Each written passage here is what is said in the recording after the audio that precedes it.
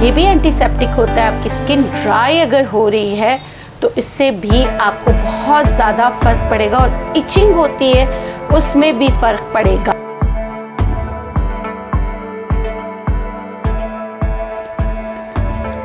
बसमीम वालेकुम इस उम्मीद के साथ आप लोग खैरियत से होंगे। मैं हूँ नेचुरोपैथ डॉक्टर बिल्कीस और आज की वीडियो बहुत इंपॉर्टेंट है। मेरे उन बहन भाइयों के लिए जो किसी के घर जाने से पहले काफ़ी दफ़ा सोचते हैं कि क्या करें। एक चीज़ होती है पसीने की स्मेल क्योंकि आज मेरे घर भी दावत है तो जब मैं दावत का काम कर रही थी तो मुझे ख्याल आया कि मैं आप लोगों से बात करूँ, आप लोगों को ऐसे हैक्स बताऊँ कि आपको भी कहीं जाते हुए, किसी से मिलते हुए शर्मिंदगी का एहसास ना हो।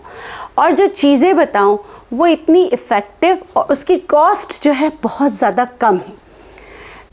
तो चलिए सीखते हैं कम खर्च बाला नशी चाहे वो आपकी जो बेड ऑर्डर पूरे पसीने की स्मेल चाहे आपको पसीना बहुत ज़्यादा आता हो, उसमें बहुत ज़्यादा स्मेल होती हो, आप बहुत सारी चीज़ें कर लेते हैं, लेकिन पसीने की स्मेल जो है, वो कम या ख़त्म नहीं होती। और मेरे, वो भाई, वो मेरे हेल्पिंग हैंड्स जो अपने जूते उतारते हैं तो सामने वाला बेहोश हो जाता है।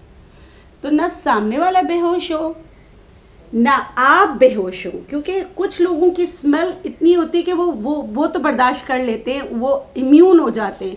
लेकिन दूसरे इम्यून नहीं होते, उनकी इम्यूनिटी लो ज़रूर हो जाती है। तो ये वीडियो सब के लिए, आप सब कीजिएगा बेहतरीन हैक्स जो बहुत ज़्यादा कम खर्चा होगा।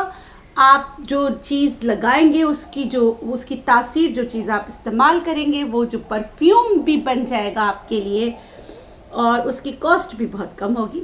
जल्दी से हैक सीखते हैं। जी, सबसे पहले बात कर लेते हैं। अंडर आर्म्स में आपको बहुत ज़्यादा स्मेल आती है और बहुत ज़्यादा पसीना आता है। कुछ लोगों की तो ऐसा पसीना होता है कि उनके अंडर आर्म्स फट जाते हैं, उनके कपड़े फट जाते हैं। तो आपने कौन सी टिप इस्तेमाल करनी है? मैंने यहाँ लिए हैं।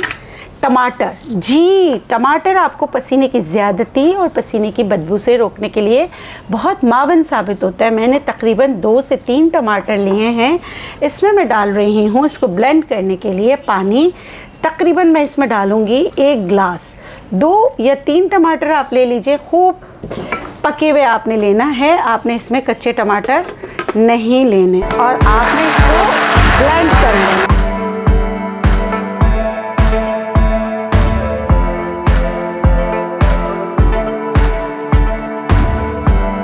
बस जनाब, आपकी दवा तैयार हो गई। मैंने टमाटरों का रस निकाला है, मैं इसको छानूँगी।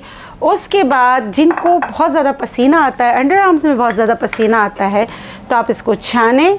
और लास्ट रिंस जो आखिरी रिंस होता है, आप इसको बॉडी पे डालें और इसको अंडर आर्म्स पे लगा भी लें। आप देखेंगे कि आपका जो वो तेज़ाबियत वाला पसीना है, वो आहिस्ता आहिस्ता कम हो जाएगा। टमाटर का ये जो हमने दो टमाटर का रस निकाला था, पानी डाल के, उसके बाद इसको ब्लेंड करके ये देखें, ये जो तैयार हो गया है। जब आप नहाएँ तो ये आपके वॉशरूम में होना चाहिए। लास्ट रिंस जैसे आप तीन, चार, पाँच मगे डालने से पहले ये आप अपनी बाल्टी में डालें। और आपने साबुन निकाल लिया हो, सिर्फ़ पानी डाल रहे हो तो ये वाला पानी डालें। ख़ास कर अंडर आर्म्स में ज़रूर लगाएँ और जहाँ आपको लगता है कि पसीना बहुत आता है, उस लगा सकते हैं। यहाँ तक कि ये आप अपने सर में भी डाल सकते हैं। तो आधी बाल्टी जैसे आप नहा लिया तो आधी बाल्टी, जब सिर्फ़ आपको पानी डालना हो तो ये टमाटरों का जूस जो है, आप अपने बाल्टी में डाल दीजिए। जी, दूसरा है, दूसरी चीज़ जो आप करेंगे, सत पुदीना, मिंट मिंट क्रिस्टल्स। ये देखिए, ये आराम से आपको पंसार के पास मिल जाते हैं। आपने ये लेने हैं सिर्फ़ इतने से तीन, चार, पाँच, या जितने भी आपको स्ट्रिंग्स मिलते हैं, ये आपने ले लिए। आपने इसमें डाला खाने का सोडा तकरीबन तकरीबन वन फोर्थ टी और इसमें आपने पानी भर लिया। आपकी दवा तैयार हो गई, ये आपने इसमें डालना है पानी। डालेंगे पानी। ये किसके लिए? ये उनके लिए जो मेरे भाई अपने मौजे उतार के दूसरों को बेहोश करते हैं, एनेस्थीजिया का काम करते हैं, ये उनके लिए है। ये स्प्रे में खाने का सोडा, सतपुदीना डल गया इसको आप बंद कीजिए। सुबह उठ के जो आप मोजे पहनते, अवल तो आप कॉटन के मोजे पे पहनिए। पहला काम आपने ये लींबू जो है पाँव पे अच्छी तरह रगड़ना है। उसके बाद ये स्प्रे कर लेना है, मगर अगर आपको कोई मेडिकल इश्यू है ड्राई ड्राइनेस वगैरह है तो प्लीज़ ये नहीं कीजिएगा। ये मैं उनके लिए बता रही हूँ जिनके पाँव पे बहुत ज़्यादा पसीना आता है। उस पसीने की वजह से जो है ना मोजे और जूते उतारने के बाद दूसरों का वो हशर कर देते हैं। उन्हीं के लिए है ये खाने का सोडा। जब आप जूते पहनते हैं तो इसको आप जूतों के अंदर जो है ना स्प्रिंकल करें।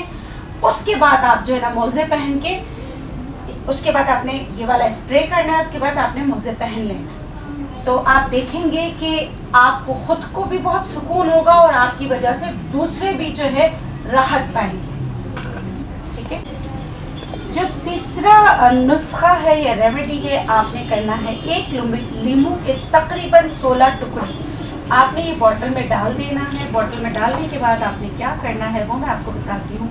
तकरीबन 16 टुकड़े तक के आराम से बॉटल में चले जाए, ठीक है?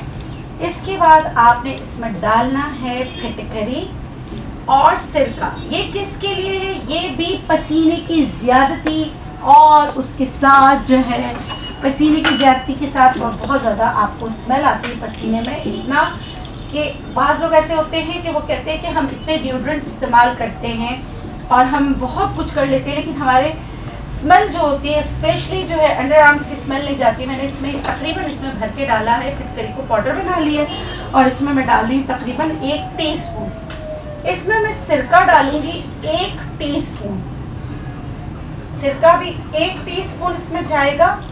उसके बाद इसमें मैं डालूँगी पानी। ठीक है? और पानी फ़िल्टर वाला होना चाहिए, जो आप पीने के लिए इस्तेमाल करते हैं। और इसको, इसका स्प्रे बॉटल बनाया।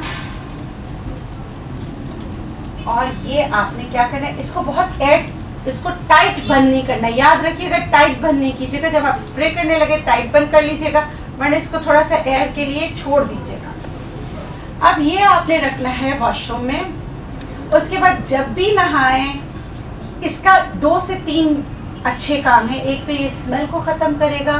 आपके, आप इसके एक नहीं, अनेक फ़ायदे हैं। मैं आपको एक, दो, तीन बता देती हूँ।